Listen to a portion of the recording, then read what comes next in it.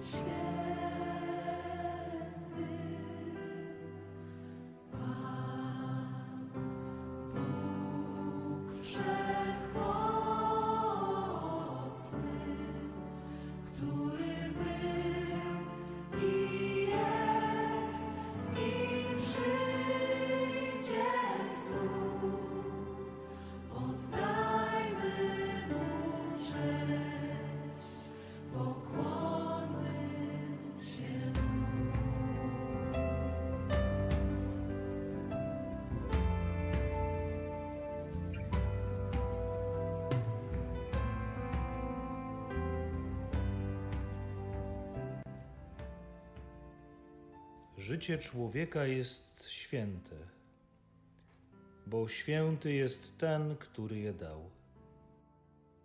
Życie człowieka jest podróżą, do której zaprasza nas Bóg, byśmy mogli odkrywać Jego piękno i bogactwo. Każdy z nas ma do przebycia swoją własną drogę życia. Potrzebujemy znaków, które pomogą nam podejmować decyzje. Potrzebujemy osób, które czasami wezmą nas za rękę. Potrzebujemy światła, by cel naszej podróży nie rozmył się w obliczu niejasnych sytuacji. Potrzebujemy miłości, by przetrwać czas bólu i smutku. Tak wiele jeszcze potrzebujemy i ciągle nam czegoś brakuje. Boże Wszechmogący, Ty wszystko możesz. Więc proszę Cię dzisiaj, byśmy nie zmarnowali żadnego znaku, który nam dajesz w podróży naszego życia. Dziękuję Ci, Boże, że nie odbywam tej podróży sam.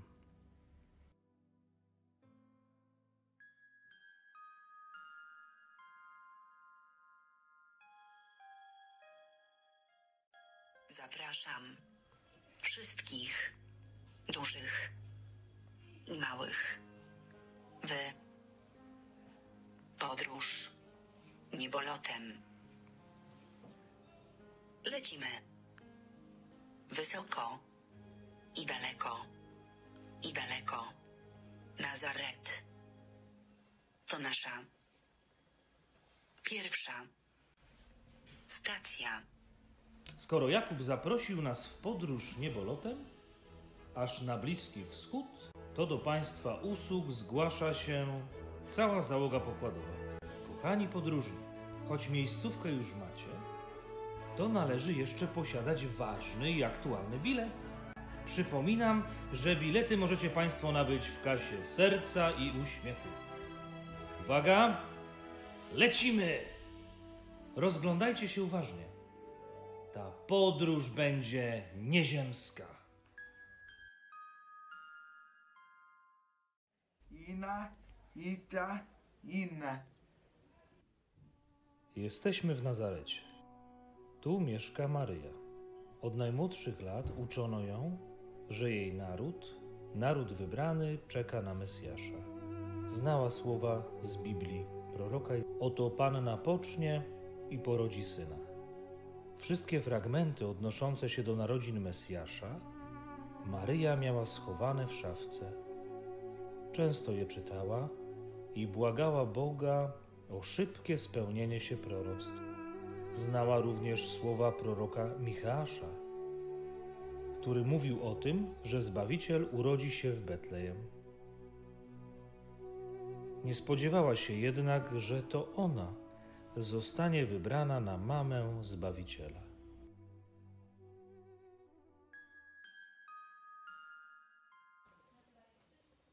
Maria oczona aniołe. O tym, że zostanie mamą Pana Jezusa, Maryja dowiedziała się w dość nietypowy sposób. Gdy przebywała w domu w Nazarecie, pośród zwyczajnych, codziennych czynności przyszedł do niej anioł. Powiedział jej, że to ona zostanie mamą Zbawiciela, którego od wielu lat oczekiwał naród wybrany. To była trudna sytuacja dla młodziutkiej dziewczyny. Pomimo niepewności swojego losu, a nawet możliwości utraty życia, Maryja ufała Bogu i modliła się słowami. Wielbi dusza moja Pana i raduje się duch mój w Bogu, Zbawcy moim.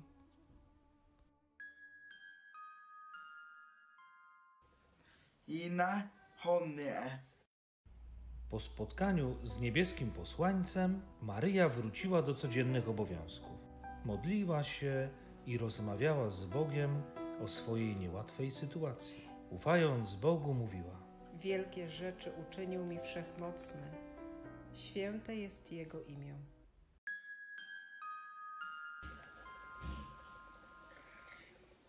Oczyny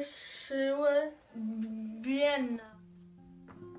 Po kilku miesiącach od spotkania z aniołem, w domu Maryi rozpoczęły się przygotowania do narodzin Jezusa. Kobiety szyły, haftowały, tkały dywany, skubały wełnę i zwijały ją w kłębki. Szykowały wyprawkę dla niemowlaka. Wszyscy spodziewali się, że Maryja urodzi w domu, w Nazarecie. Ona jednak wiedziała, że Zbawiciel musi przyjść na świat w Betlejem, aż 150 kilometrów od Nazaretu.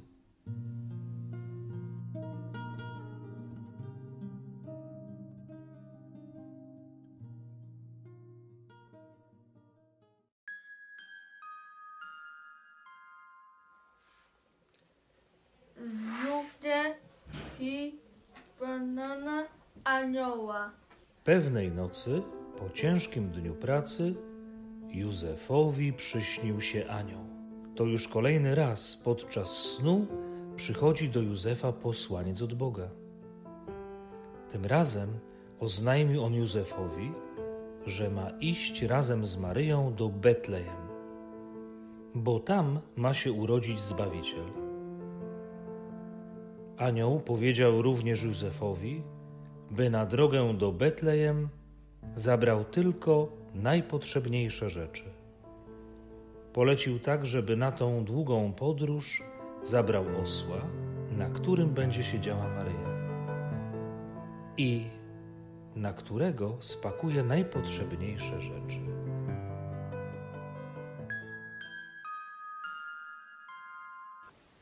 Bajka u onku Aty.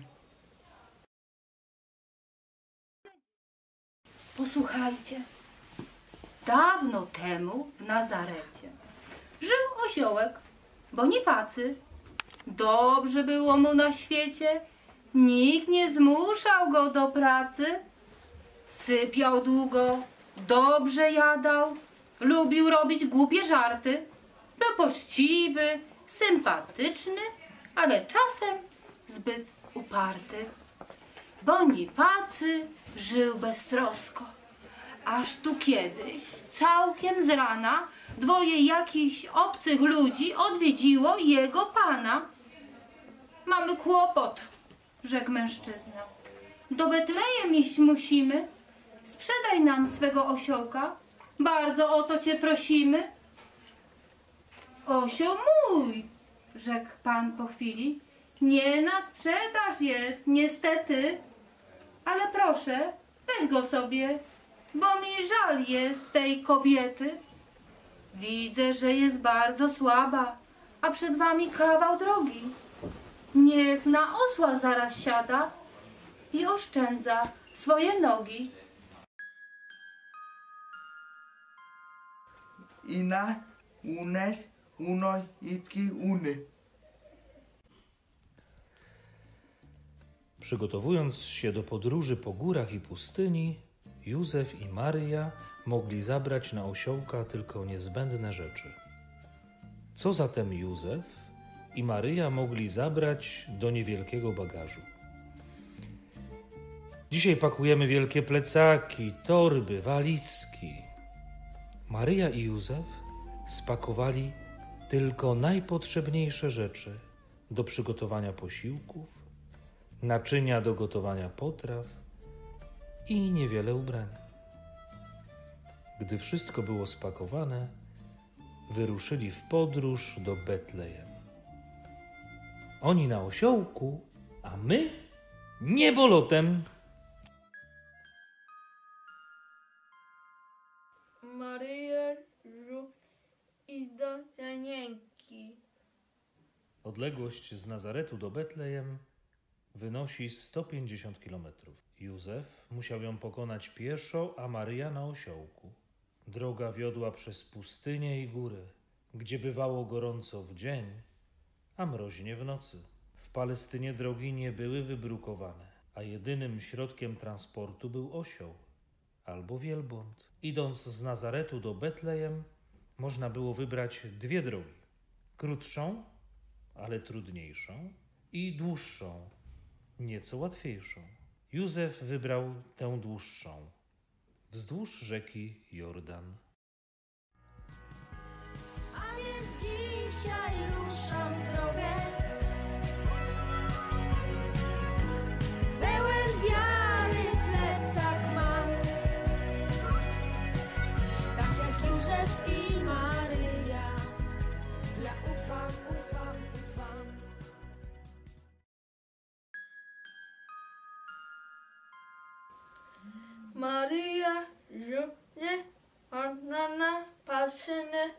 Tony Ser i Meko.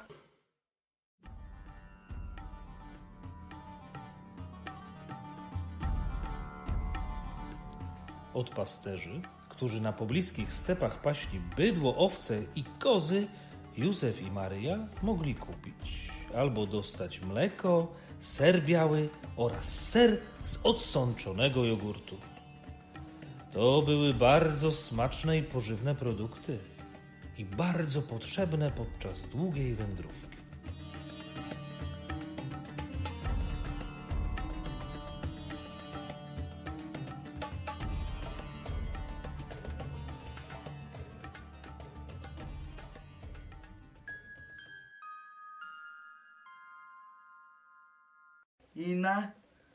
Unes hanoj entoj onnut. A więc dzisiaj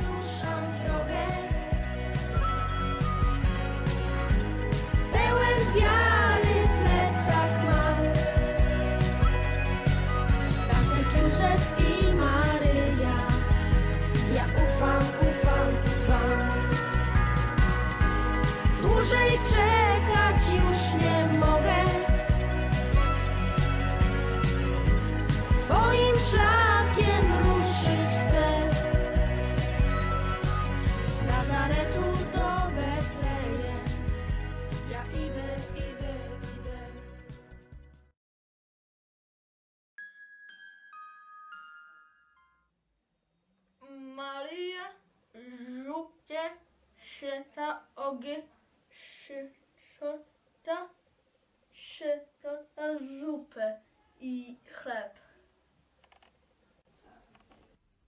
Po długim i męczącym dniu wędrowcy musieli jeszcze przygotować sobie kolację.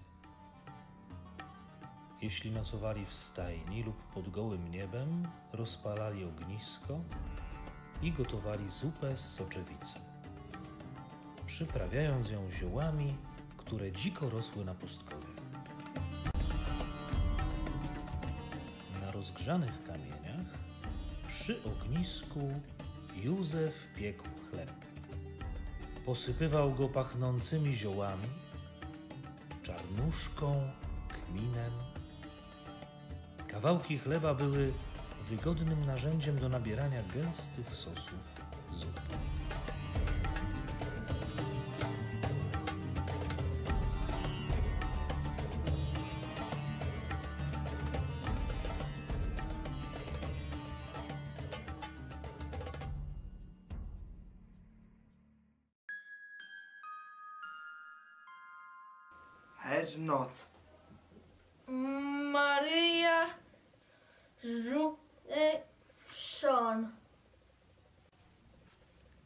Wszyscy podróżujący do Betlejem musieli znaleźć bezpieczne miejsce do nocowania.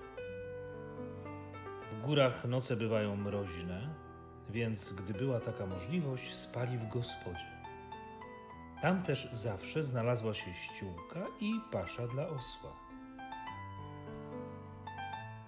Często jednak bywało tak, że gospody były zajęte i wtedy właściciel gospody udzielał schronienia w stajni. Podczas dziesięciodniowej wędrówki pewnie niejedną noc Maryja i Józef musieli spędzić razem ze zwierzętami w stajni.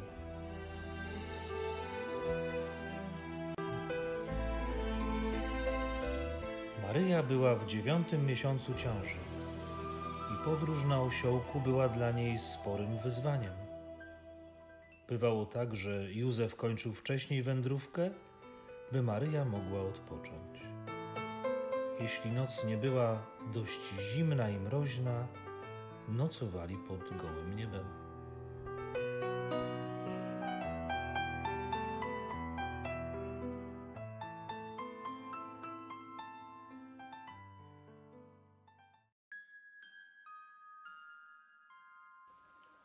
Ina, Unes, Henoj, Hanne. Pewnie śniadanie Maryi i Józefa tylko po noclegu w gospodzie mogło odbywać się przy stole. Gdy bowiem nocowali w stajni albo pod gołym niebem, śniadanie było posiłkiem spożywanym w drodze. Jak wyglądał ich pierwszy posiłek? Jedli batony z suszonych moreli, które moczone w wodzie gasiły pragnienie. Spożywali również figi gotowane w miodzie ze zmielonymi migdałami, z których po ostudzeniu można było formować placki. Kawałkami chleba nabierali humus, czyli pastę z ciecierzycy z sezamem. Często gotowali kaszę z bakaliami, która dawała siłę na cały dzień. Wędrowcy po pustyni nie jedli częściej niż dwa razy dziennie. Ina, Unes, Hanoj, Entoj, Onnut. A więc dzisiaj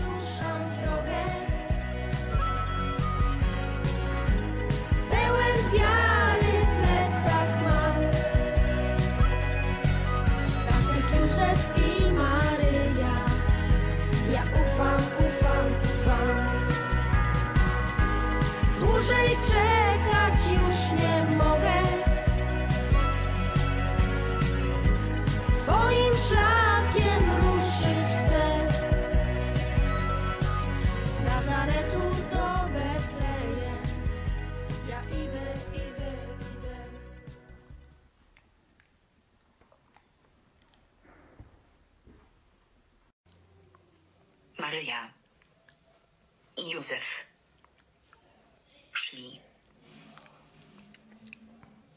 Kilka dni. To była długa i ciężka podróż, ale są już blisko. Betlejem. Ciemna nocy, niepojęta co na mrozie pękasz, pomóżcie mnie umęczonej wędrować w dalekie strony. O Józefie, ty mnie wspomóż, byśmy doszli gdzieś.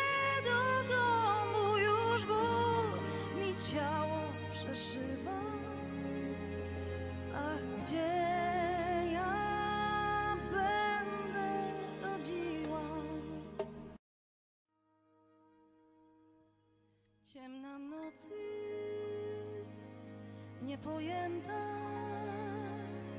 drzewu, co na mrozie pękasz, pomóżcie mnie, umęczony, wędrować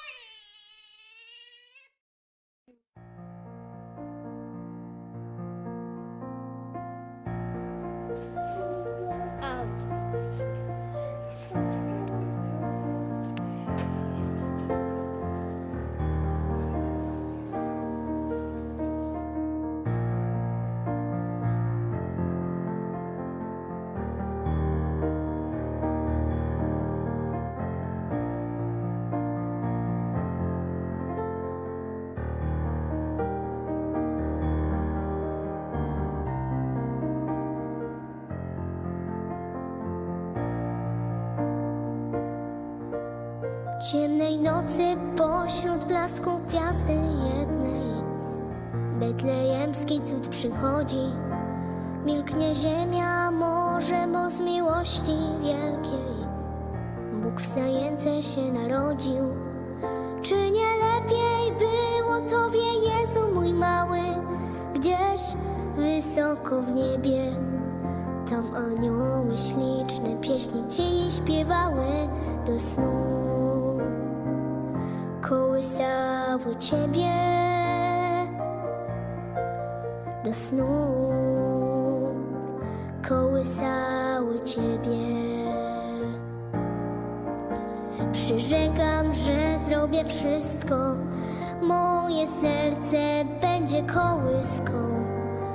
Do snu cię utulę, jeśli będzie trzeba, byś tu na biednej ziemi miał choć kawałeczek nieba. Przyrzekam, że zrobię wszystko, moje serce będzie kołyską. Do snu cię utulę, jeśli będzie trzeba, byś tu na biednej ziemi miał choć kawałeczek nieba.